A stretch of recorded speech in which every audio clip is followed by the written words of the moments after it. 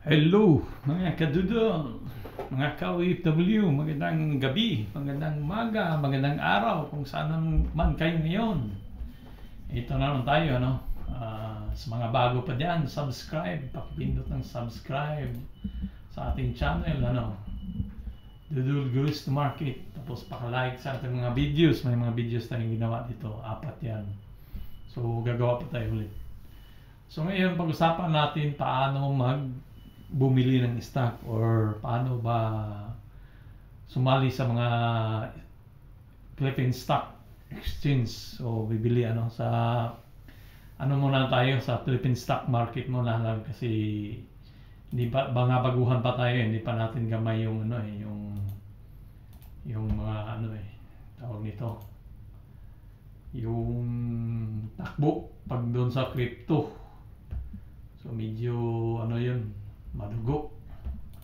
So dito muna tayo sa Philippine stocks. So ano ba mag ano? ah, so unang-una ah, ganito yung setup ano.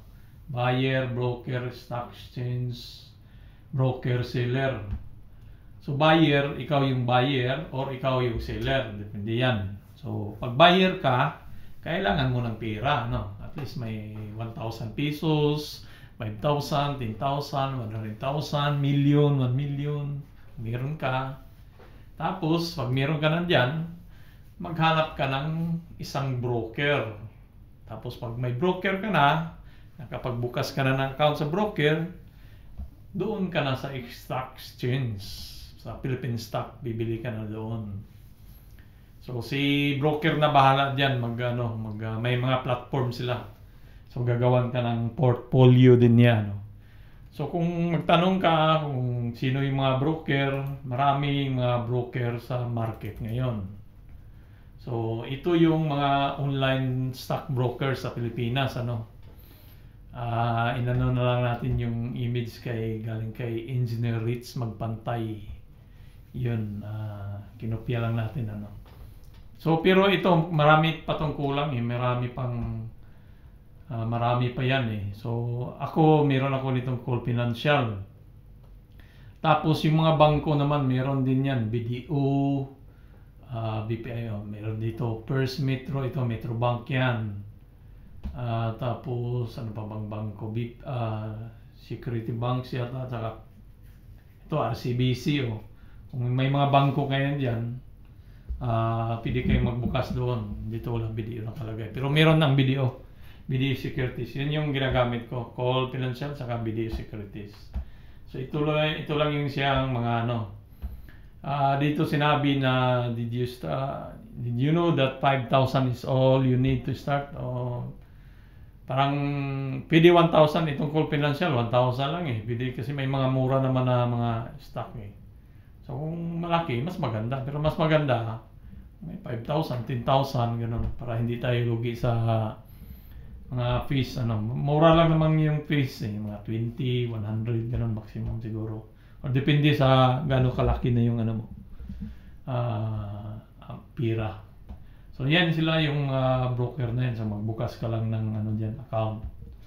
So kung may broker ka na, so ito na yan kasunod stocks exchange. So so dahil ah, sa ano muna tayo sa Philippine market, ano? So sa Philippine market, ah, pag meron ka ng katulad to, yung akin, call, ah, yan, si Call Financial, yan, no? Pag may mga account ka na, kung gusto mo bukas ang Call Financial, dito lang, open account. Yan lang, click mo yan. Yung mga requirements nila, halos-halos parehas lang yan mga requirement ko ano yan. Sundan nyo lang yan. Yan, sign in. Yun, ganun lang yun. So, ganun lang kadali daw. Kasi hindi ako gumawa sa account ko eh. Pinagawa ko eh, kasi tamad tayo magawa eh. Tapos, yung ano naman, yung video, meron din yan sila. Ah, saan yung video? Ito yung video. Yan, yung yan yung si- video securities yan. Yun yung meron ako dalawa at saka call. So, yan, pag meron naka yun yan, May account na kayo, may, may pira na kayo, may broker na kayo, may account. So, bibili kayo ng ano, ng mga stock ano. So, ah pwede kayong mag ano ng ah trade, itong trading view eh. Itong trading view yung ginagamit ko sa pag kasi ako ano ko eh ah, dalawa ka dalawang ka ah, lalala dalawang klase kasi yun eh. Yung parang ang trader na klase may ah, fundamental saka technical. Ako more on technical ako eh. Kasi yung fundamentals ah maraming kaya mo magbasa basahin mo yung kwento ng isang mark ah, company kung ano yung financial status nila So, katulad ng mga Jollibee, SM, BDO, eh, hindi mo na kailangan basahin yung mga ano na yun kasi mga malaking kumpanya na yun, mga Ay- Ayala, mga Robinson, hindi mo na kailangan anuhin yan kasi ma matibay na yan ang kumpanya. eh. So, hindi mo na kailangan mag ano pa, mag-aral ng fundamentals nila. Siguro yung mga maliliit lang na mga stock na ano, So kailangan mo mag ah, ah, mag ah, research sa kanila kung ano sila. So ito Instagrams, so meron din sila.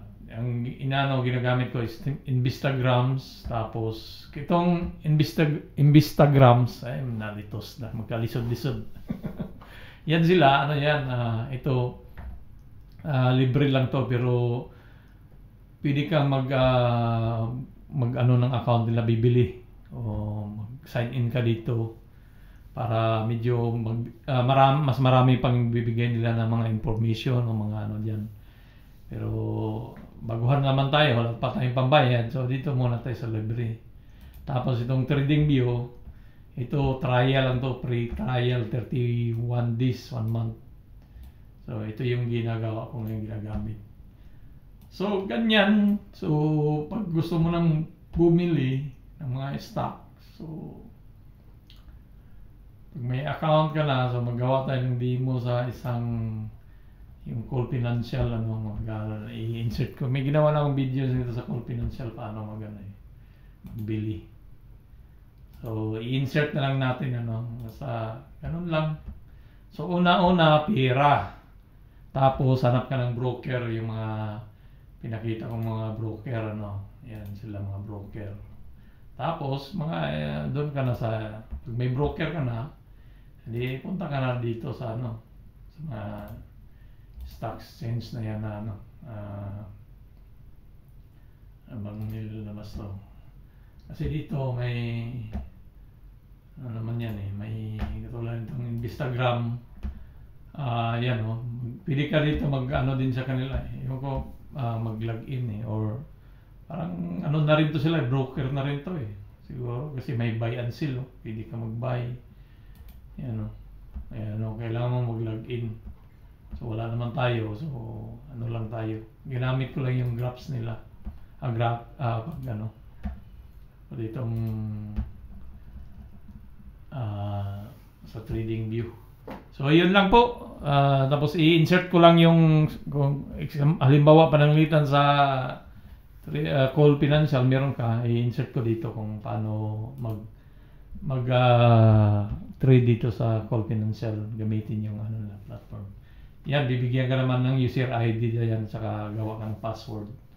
Pag may account ka na, so doon, pili kang ano. So, Pakita ko paano ang ano, i-insert ko lang siguro or i-continuous natin to. Sige, saglit lang. Stop muna natin to. Mag-login muna tayo sa Cool.